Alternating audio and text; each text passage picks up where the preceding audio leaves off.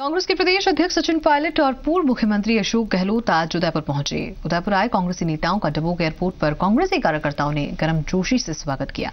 Airport से सचिन पायलट और अशोक गहलोत बांसवाड़ा के लिए रवाना हुए। सचिन पायलट ने सूखे पर सरकार को घेरा और कहा कि सरकार को खास योजना बनाकर किसानों की समस्या दूर करनी चाहिए।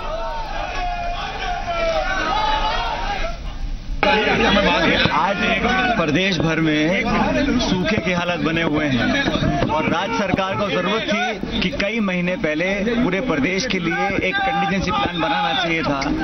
पीने के पानी की किल्लत है, मवेशियों के लिए, जानवरों के लिए पानी की व्यवस्था नहीं हो पा रही है। मेरा ऐसा मानना है राज्य सरकार को अलग से बजट आवंटित कर कर यहाँ पर लोगों की परेशानियों को दूर करने के लिए व्यवस्था कायम करनी चाहिए थी। राज्य सरकार किसानों के लिए और आम जनता के लिए कोई भी कार्रवाई करने में कामयाब नहीं हुई है और ढाई साल के कार्यकाल में पूरी तरह निराशा लोगों को हाथ लगी है और मुझे लगता है कि बहुत जल्द और बहुत जल्दी ये सरकार जनता का विश्वास खो चुकी है और सरकार की उल्टी गिल्ली चालू हो चुकी है।